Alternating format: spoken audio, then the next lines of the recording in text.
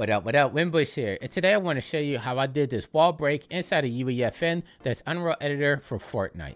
Now, when I worked on this game a couple of months ago, funny enough, UEFN didn't accept the Alembic files, but as I was putting together this tutorial this morning, I actually saw with the recent update to UEFN, we can now bring in Alembic files, which makes the process a lot simpler. But I also want to show you the way I originally did it, just in case anybody's interested on how I did it manually. Now for the wall break simulation, I did it inside of Cinema 4D. I know a lot of people asked me before, why didn't I do it in Unreal Engine?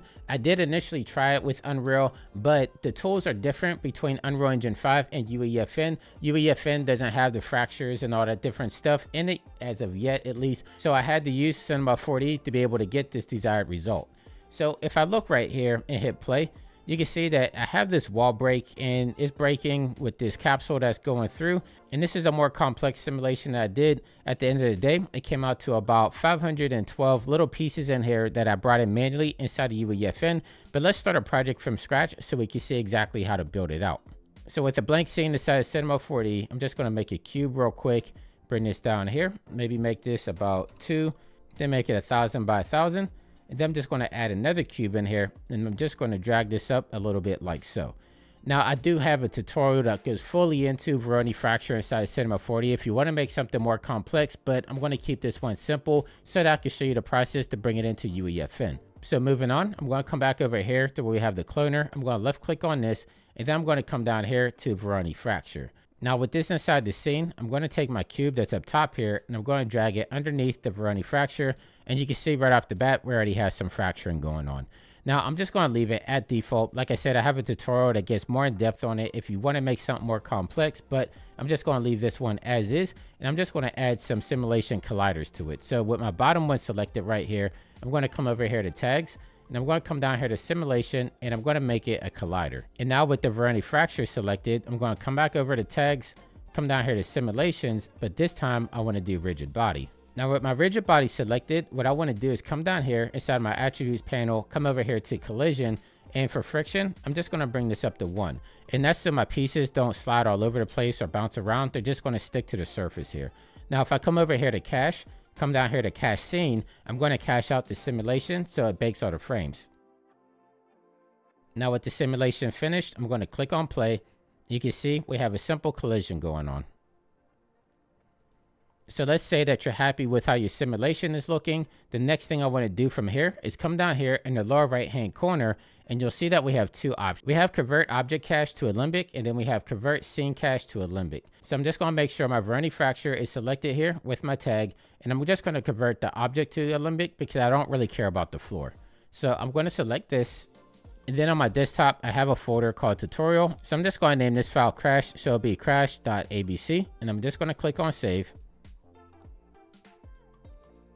And now we have an Alembic file that is saved out. Now remember at the beginning of the video, I said before it was a little bit more complicated because UEFN didn't accept Alembic files, but as of today, we can. So I'm going to show you this process right now, how we can make it simplified with the Alembic file. So with UEFN open right now, I'm just going to make a new folder. So I'm going to right click down here and I'm just going to name it ABC for Alembic file, double click on it.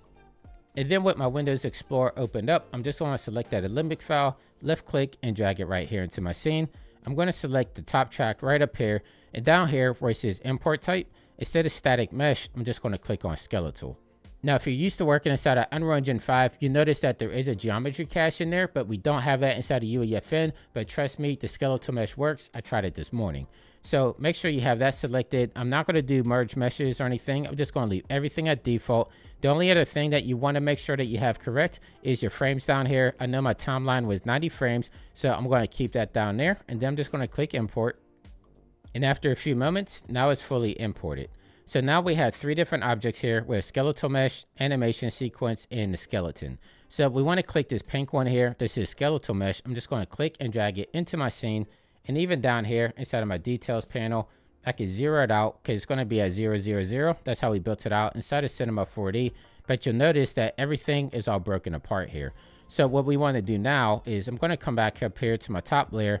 I'm going to right click down here inside of my browser. And then I'm just going to make a sequence. So right here under cinematics, I'm going to make a level sequence. And I'm just going to name this one ABC as well. And I'm going to double click on it. And now we have our sequencer. So with this selected inside my viewport, you'll notice inside of my outliner, it's selected here as well. I'm going to left click, drag that down here into my sequencer. And now we have it down here inside of our timeline. And where it says animation, I'm just going to click the plus symbol. And you should see animation sequence right here. So if I left click on this, now if I click on play, now we have our sequence inside of UEFN. But you'll notice when it's done playing, it's going to convert back to this scene right here. What you'll want to do to fix that is you'll want to come right here to where it says animation inside your timeline. You want to right click on it, come up here to properties, and where it says when finished, instead of project default, you want to click on keep state. So I'm going to select this. Then I'm going to come through and play it again. So now you can see that it kept it at the end of the animation. So if that's all you wanted to know how to do, that's the end of that part of the tutorial. But if you want to see the manual way that I had to do it whenever I was working on the game with Method Man there, I'm happy to show you that just in case you want to try it out for yourself. But it is extremely manual. And so let me get right into it. So I'm going to open up a new scene inside of Cinema 4D. And then I'm going to take that Alembic file that I saved out initially. I'm going to left click and drag that here into Cinema 4D. Now down here, my frame rate is 30, so you just want to make sure that you have everything selected as you need it. I just leave mine at default, and I'm going to click OK. Now you might be asking, why am I bringing the Alembic file back into Cinema 4D? Well, before UEFN didn't allow for Alembic files, and so the workaround that I found was instead of bringing in an Alembic file, I would convert that over to an FBX, but in order to do that, I had to bring it first back into Cinema 4D and then convert it to an FBX. From there, like I said, it's a manual process. So over here inside my objects panel, I'm just going to select everything in here. And then coming down here inside the attributes, I'm going to click on basic. And where it says name, I'm just going to name this one break. Now, when I did that, you'll notice that all my layers up here are now also called break. But if we want to bring this into UEFN, they can't be named the same exact thing. So we have to rename these sequentially. So in order to do that, I'm going to come over here to tools. I'm going to come down here to naming tool, which is right here under extra. Left click on this then I'm going to right click under attributes to undock it so we can see better what's happening. And once you have the naming tool open, you want to come down here to replace and you want to look for a suffix. So I'm going to left click in here and then I'm going to hold down the shift key and I'm going to do underscore.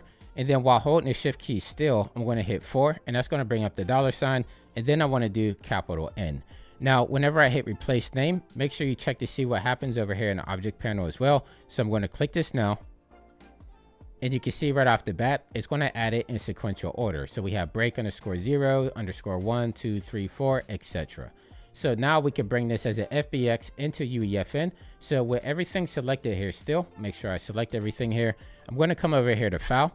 I'm going to come down here to export and I'm going to save it as an FBX. But I want to click on the gear because I just want to make sure I have some attributes selected. So I'm going to select this gear. And inside of here, I want to do selection only because I like only bringing over stuff I have selected.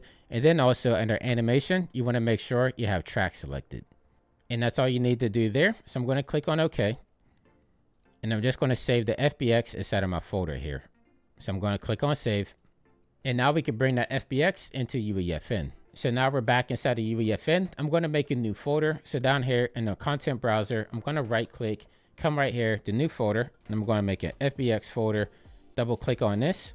Then I'm just going to drag over my Windows Explorer here, and I'm going to take this FBX file, I'm going to click and drag it into my content browser here. Now we have the FBX import options here. And the only thing I want to do is make sure I come down here to where it says animations and I want to select the import animation. So make sure you have this selected on exported time and I'm just going to click import all.